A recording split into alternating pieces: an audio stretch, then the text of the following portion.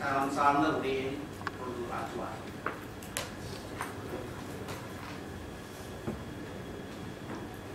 அனைவருக்கும் வணக்கம். ஏற்பாட்டு குழுவினர் சார்பாக சில விடயங்களை தெளிவுபடுத்துவதுடன் உங்களுடன் சில கருத்துக்களை பகிர்ந்து கொள்ளும் பணி எனக்கு தரப்பட்டுள்ளது. உங்களுடன் சில கருத்துக்களை பகிர்ந்து கொள்ள முன்னர் அமெரிக்க மனித உரிமையாளர் மாட்ட மார்டின் லூதர் கிங் அவர்களின் இரண்டு பொன்மொழிகளை உங்கள் முன் சமர்ப்பித்து அதன் அடிப்படையில் உங்களுடன் சில கருத்துக்களை பகிர்ந்து கொள்ள விரும்புகிறேன் முதலாவது the ultimate tragedy is not the oppression and cruelty by the bad people but the silence over that by the good people இரண்டாவது freedom is never voluntarily given by the oppressor it must be demanded by the oppressed. எமது மக்களின் அரசியல் வேட்கையும் பயணமும் தனித்துவமானது. அது எப்போதும் கொள்கைகளுக்கே முன்னுரிமை கொடுத்திருந்தது. அது ஆரம்பம் தொட்டு எத்தனையோ அழிவுகளுக்கும் விலை பேசல்களுக்கும் மத்தியிலும் கொள்கையின் வழியே நின்றிருந்தது. அந்த பயணம் கடுமையானது என தெரிந்தும் எத்தனையோ ஆசை வார்த்தைகள் வீசப்பட்டும். அது கொள்கையை ஒருபோதும் விட்டு கொடுத்திருக்கவில்லை. காலத்திற்கு ஏற்ப அல்லது நடைமுறைக்கேற்ப என்ற சொல்லாடல்களுடன் தனது வசதிகளுக்கு ஏற்ப வளைந்திருக்கவில்லை. அது தனது அடிப்படை கோட்பாடுகளை கொள்கைகளை விட்டு அசைந்திருக்கவில்லை. மாறாக காலத்திற்கேற்ப தனது வழிமுறைகளை மட்டுமே மாற்றிக்கொண்டது செழுமைப்படுத்தி கொண்டது. அவ்வாறு காலத்துக்கு காலம் மாற்றிக்கொள்ள இந்த கொள்கை ஒன்றும் சட்ட புத்தகங்களின் புத்தகங்களினதோ அரசியல் புத்தகங்களினதோ வரிகள் சொல்லுகின்ற வரவிலக்கணங்களின் பிரகாரம் உருவானவை அல்ல. அவை எமது வாழ்க்கை எமது பட்டறிவு எமது வாழ்க்கையை அழிவிலிருந்து காப்பாற்றிக் கொள்ள எமது இனம் தனது பட்டறிவின் பாட்பட்டு இயற்கை நீதியின்படி வரைத்து கொண்ட கோட்பாடுகளே அவை.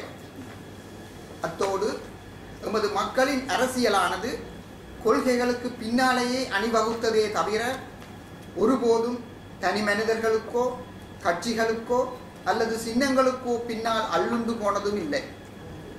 எமது அடையாளத்தை சிதைத்து எம்மை ஒடுக்க முற்பட்ட தரப்புகளுக்கு பெரும் பிரச்சனையாக இருந்ததும் எமது மக்களின் இந்த கொள்கை பற்றுறுதிதான். எத்துணை விலை பேசல்களுக்கும் எமது மக்கள் அசைந்து கொடுக்கவில்லை. எத்துணை கொடுமைகளை கண்டபோதும் எமது மக்கள் தடம் மாறவில்லை. இது மக்களுக்கு எவ்வளவு புரிந்ததோ அதைவிட மேலாக அரசியல் தலைவர்களுக்கும் புரிந்திருந்தது. அதுவே அவர்களை தடம் மாற்றாது வைத்திருந்தது. எமது மக்களை தொடர்ந்தும் ஒடுக்க வேண்டுமாயின் இந்த முனைப்பை எவ்வாறாயினும் சிதைக்க வேண்டிய தேவை அவர்களுக்கு இருந்தது. ஆனால் ரெண்டாயிரத்தி ஒன்பதுக்கு பின்னரான நிலைமை துரதிர்ஷ்டவசமாக அப்படி இருக்கவில்லை. எவை எவையெல்லாம் எம்மை வழிதவறி செல்ல பண்ணும் என்று அவதானமாக நின்றோமோ அவை அவையெல்லாம் நவீன உலக ஒழுங்கு கல யதார்த்தம் ராஜதந்திரம் எனும் அழகிய சொல்லாடல்களாய் எம்மை சூழத் தொடங்கின. அர்ப்பணிப்பான மக்கள் சிந்தனையும் செயற்பாடுமே அரசியலாக இருந்த எமது மண்ணில் போலி வார்த்தையாடல்களும் மாலை சூடல்களுமே அரசியல் என்பதாக பரிணமிக்கின்றதோ என்ற கவலை அனைவரிடமும் உண்டு. பதவி அரசியலோடு பின்னி பிணைந்ததுதான் தேர்தல் அரசியல். ஒரு செயற்பாட்டு அரசியலை உடைப்பதற்கு ஒடுக்குமுறையாளர்கள் கைக்கொள்ளும் யுக்திகளில் ஒன்று பதவிகளை வழங்குதலாகும். தேர்தல் அரசியலை முறையாக கையாள முடியாது. கொள்கை அரசியல் தடம் புரண்ட வரலாறுகள் ஏராளம் உள்ளது. இனியும் எமது மண்ணில் அத்தகையதொரு நிலைமை ஏற்படாது என நம்பிக்கை கொள்வோம். மற்றவர்கள் பார்த்து கொள்வார்கள் என்கிற மனப்பாங்கும் இப்படியான அரசியல் போக்கினை வலுப்படுத்தி விடுகிறது. எமது இந்த தூர நின்று பார்க்கும் போக்கினால்தான் தேர்தல் முடிந்த கையோடு எவ்வித பொறுப்பு கூறலிற்கான கடப்பாடுமற்று எமது மக்களின் எதிர்கால தலைவிதியை நிர்ணயிக்கும் பொறுப்பு தங்களுடையதே. தங்களுடையது மட்டுமே என இவர்கள் கருத தலைப்படுகின்றனர். வாக்களித்த மக்களுக்கு வெளிப்படுத்தப்படாத மூடி அறைகளுக்குள் நடக்கும் உரையாடல்களும் தனி மனித முடிவுகளும் மட்டும் எமது மக்களின் தலையெழுத்தை தீர்மானிப்பதை நாம் ஒருபோதும் அனுமதிக்க முடியாது. இவ்வாறு அனுமதிப்பது எம் கண்ணெதிரே நடக்கும் அநியாயங்களுக்கு துணை போவதாகவே அமையும்.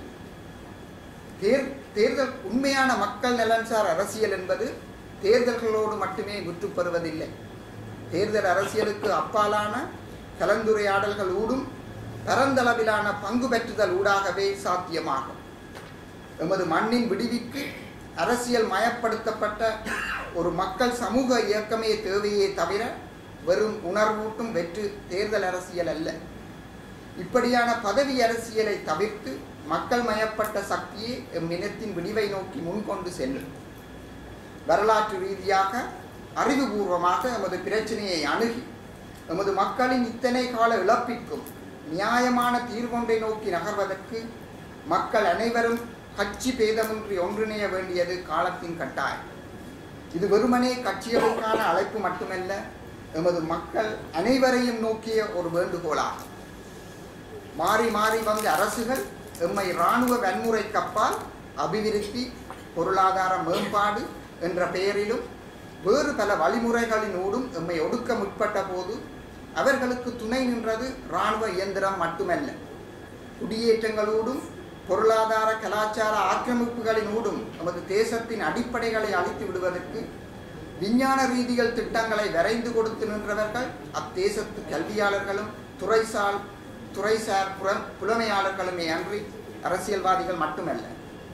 தர்ம நெறியினின்று வழங்கி ஒரு இனத்தை ஒடுக்கும் செயல்முறைக்கு அத்தேசத்து மக்களும் புலம் புலமையாளர்களும் இவ்வாறு பங்களிப்பு வழங்கி இருக்கின்றார்கள் என்றால் ஒடுக்கப்படுகின்ற மக்கள் சார்பில் அந்த ஒடுக்குமுறைக்கு எதிராக பொதுமக்களாகிய எமது பங்கு எந்த அளவுக்கு இருந்திருக்க வேண்டும் இனி இருக்க வேண்டும் என நாங்கள் ஒவ்வொருவரும் எம்மை நாமே கேட்போமாகி நாம் சரியான பாதை நோக்கி சிறு அடியைத்தானும் எடுத்து வைக்க ஆரம்பிக்கலாம். அப்படி உருப்பெற்ற முயற்சிதான் இது. எம்மை பொறுத்தவரை இன்றைய அரசியல் சூழ்நிலை ரெண்டாயிரத்தி ஒன்பது முள்ளிவாய்க்காலை விட ஆபத்தான் எமது அரசியல்வாதிகள் மக்களுக்கு உண்மையுடையவர்களாகவும் நாம் விழிப்பாகவும் இல்லாதபடி எமது எதிர்காலத்தையே காவு கொண்டு விடும் ஆபத்து உள்ளது. நுண்ணிய நகர்வுகளுக்கூடாக நடக்கின்ற அரசியல் காய் ந- நகர்த்தல்கள் எமக்கான தீர்வுகள் எமது மக்களின் பிரசன்னம் இல்லாமலே உருவாக்கப்பட்டு எமக்கு தரப்பட்டதாய் பதியப்படலாம். இதை மக்கள் ஏற்றார்கள் என்று கூறுவதற்கும் தயாரிப்புகள் நடக்கலாம். மிக வேகமாக நடக்கும் இப்படியான நகர்வுகள் எம்மை சூழ்வதை நாம் அறிந்திருக்க வேண்டும். இந்த சந்தர்ப்பத்தில் நாம் எமது மக்கள் விழிப்பாக இல்லாவிடில் மிகப்பெரிய ஏமாற்றத்தை சந்திக்க வேண்டி வரும். இந்த சவாலை தனிநபர்களாகவோ அல்லது தனித்தனி அமைப்புகளாகவோ எதிர்கொள்ள முடியும் என நாம் கருதவில்லை.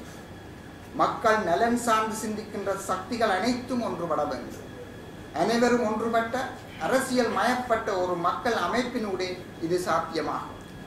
எனவேதான் இங்கு கூடியிருக்கின்ற அனைவரும் எமது மக்களின் நலன்களை மட்டும் முன்னிறுத்தி எமது மண்ணில் நிகழ்ந்த தியாகங்களின் பெயரால் ஒன்றிணைந்து கொள்கை வழி செயலாற்ற வேண்டும் என வேண்டுகின்றோம். தத்தமது தனிப்பட்ட அரசியல் ஆதாயங்களுக்கு அப்பால். இதுவரை மக்களின் நலன்களுக்காக தம்மை அர்ப்பணித்துள்ள அனைவருக்கும் இச்சந்தர்ப்பத்தில் நாம் நன்றி கூற கடமைப்பட்டுள்ளோம். அரசியல் மயப்பட்ட ஒரு மக்கள் இயக்கமாக இது பரிணமிக்க வேண்டும் என்பதுதான் அனைவரனதும் எதிர்பார்ப்பு. அதற்கான ஒரு முதற்படியாகத்தான் இந்த அமைப்பு இன்று இங்கு கூடியிருக்கிறது. இதற்கான பணியை ஒன்றிணைப்பை தமிழர் தாயகமெங்கும் நாங்கள் முன்னெடுக்க வேண்டும்.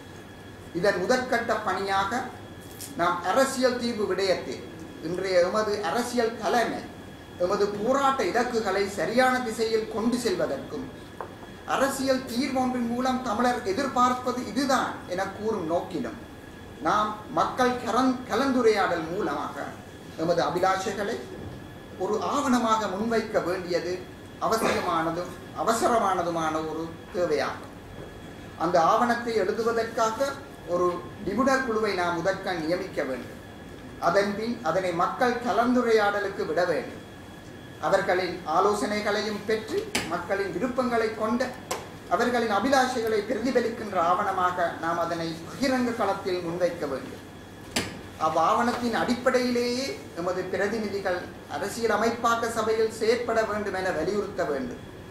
இவற்றை செய்தி முடி செய்து முடிப்பதற்கான ஒரு பரந்த தளத்தை இந்த அவை உருவாக்க வேண்டும். மிகவும் வேகமாகவும் கவனமாகவும் நாம் செயற்பட வேண்டும். அரசியல் தீர்வு விடயத்தில் மட்டுமன்றி எமது அடையாளத்தின் குறியீடுகளாக விளங்கும் மொழி கலை பண்பாடு கல்வி பொருளாதார கட்டமைப்பு ஆகியவற்றின் மேம்பாட்டிலும் பாதுகாப்பிலும் எமது செயற்பாட்டு பரப்பு விரிவடைய வேண்டிய தேவையுள்ளது.